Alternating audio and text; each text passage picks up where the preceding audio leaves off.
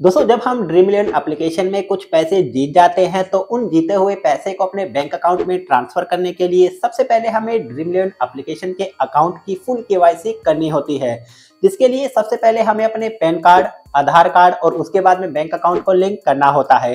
तो जो सबसे पहला स्टेप होता है पैन कार्ड को लिंक करना, उसी में ही बहुत सारे यूज़र ये गलती कर देते हैं और उसी गलती के कारण ड्रीम इलेवन एप्लीकेशन के अकाउंट से उनका जो पैन कार्ड है वो रिजेक्ट कर दिया जाता है, यानी कि लिंक नहीं होता है।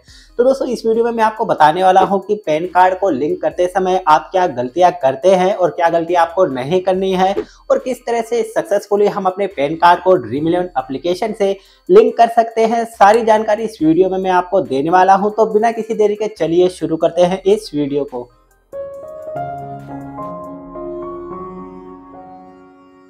तो दोस्तों, वीडियो को शुरू करते हैं, मगर उससे पहले मैं आपको एक इम्पोर्टेंट न्यूज़ देना चाहूँगा, और वो ये है कि मैंने फैंटेसी से रिलेटेड एक नया सेपरेट यूट्यूब चैनल क्रिएट किया है, जिसका नाम है फैंटेसी फायर जोन और ये रहा ये यूट्यूब चैनल और इस यूट्यूब चैनल का लिंक मैंने आपको वीडियो के डिस्क्रिप्शन में भी प्रोवाइड करा दिया है तो जाइए जल्दी से क्लिक करके चैनल को सब्सक्राइब कर लीजिए, क्योंकि फैंटेसी से रिलेटेड बहुत सारी वीडियोस आपको उसी यूट्यूब चैनल पे मिलने वाली है।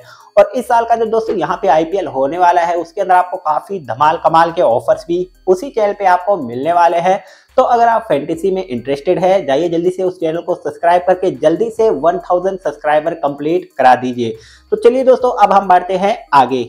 तो यहाँ पे दोस्तों मैं आपको एक ड्रीम इलेवन अकाउंट दिखाने वाला हूँ, जिसका पैन कार्ड रिजेक्ट हो गया है लिंक नहीं हो रहा है। और साथ ही साथ कैसे लिंक करना है, ये भी मैं आपको इस वीडियो में दिखाने वाला हूँ तो बने रहिएगा हमारे साथ इस वीडियो में। तो चलिए सबसे पहले मैं यहाँ पे ड्रीम इलेवन एप्लीकेशन को ओपन कर लेता हूँ।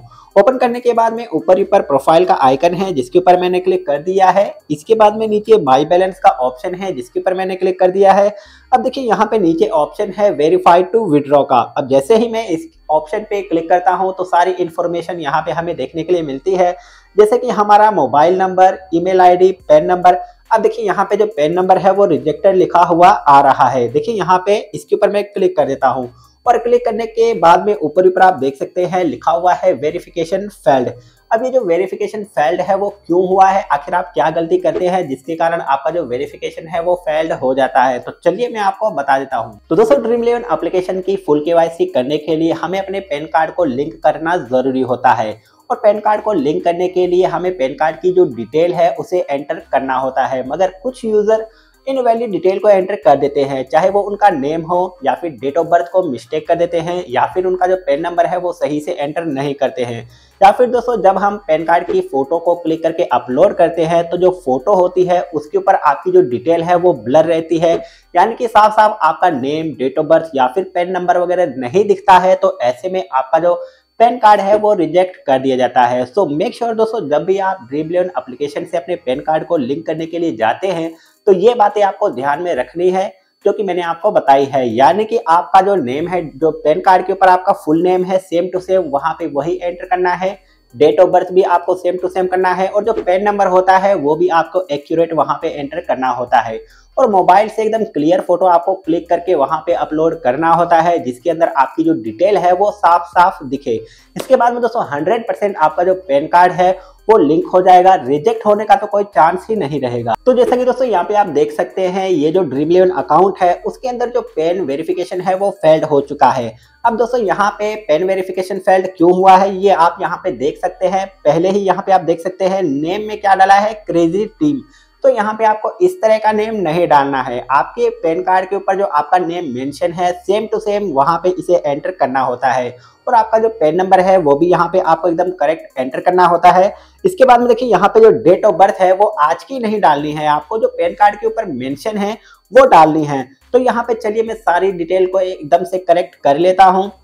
परंतु दोस्तों यहाँ पे जो पैन कार्ड की डिटेल है, उसे मैंने करेक्ट कर लिया है। जैसे कि ऊपर ऊपर आप देख सकते हैं, पहला था क्रेजी टीम यहाँ पे मैंने मुकेश लावट कर दिया है। उसके बाद में यहाँ पे नीचे है पैन नंबर और डेट ऑफ़ बर्थ वगैरह, सारी जो पैन कार्ड के ऊपर मेंशन है, वो यहाँ पे मैंने एंटर कर दी है। इसके बाद में दोस्तों नेक्स्ट ऑप्शन आता है हमें पैन कार्ड की फ़ोटो को अपलोड करना।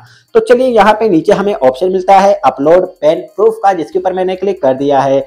क्लिक करने के बाद में दोस्तों, यहाँ पे मैंने पैन कार्ड की जो फ़ोटो है, उसे गैलरी में सेव करके रखा हुआ है। तो चलिए यहाँ पे अपलोड फ्रॉम गैलरी का ऑप्शन है, इसके ऊपर मैंने क्लिक कर दिया है और क्लिक करने के बाद में यहाँ पे जो फ़ोटो है, मैंने उसे अटैच कर दिया है, डन कर दिया है। इसके बाद में है सबमिट डिटेल का ऑप्शन। अब देखिए, यहाँ पे मैंने क्लिक कर दिया है। बस आपको इतना सा ही काम करना होता है और हमारा जो पेन वेरिफिकेशन की जो प्रोसेस है, वो अभी जा चुकी है प्रोसेसिंग में, यानी कि हमें कुछ समय लगने वाला है पेन कार्ड को लिंक करने के लिए।